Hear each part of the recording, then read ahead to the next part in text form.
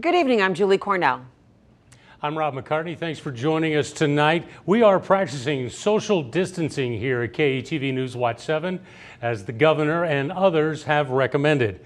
Now we want to begin with tonight's breaking news. Well, the Douglas County Health Department confirms two new cases of coronavirus. This includes one case announced yesterday that was under investigation. Now investigators are adding places where the people may have been exposed to COVID 19 two Creighton basketball games over the past week. At this point, investigators do not know where the person sat. list also includes Walmart at 120th and L on March 4th, as well as the bus from Barrett's on Leavenworth to the Creighton game.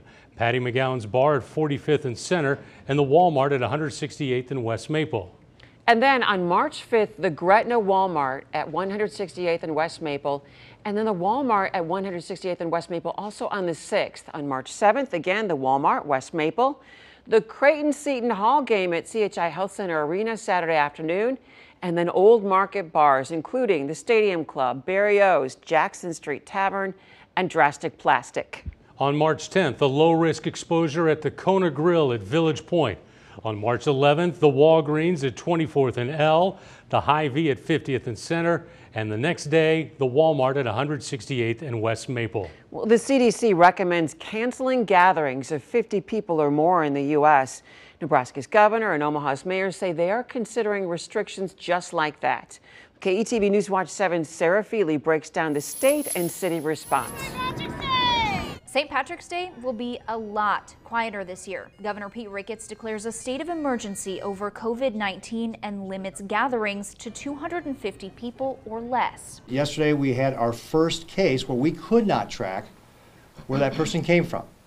And so this is our first case of what we call community spread. If another case of community spread is confirmed, that number would drop even lower. Omaha Mayor Jean Stothert is already considering it. Maybe it's time for us to use our powers now with the holiday, St. Patrick's Day coming on, and with all of the events that we know are going to be held in our bars and in our restaurants. Stothert and Chris Rodgers, president of the Douglas County Board of Health, say the number could drop as low as 25 to 50 people. They want businesses to prepare. Bar owners, it's not referring to businesses per se, but particularly entertainment gatherings, things of that sort.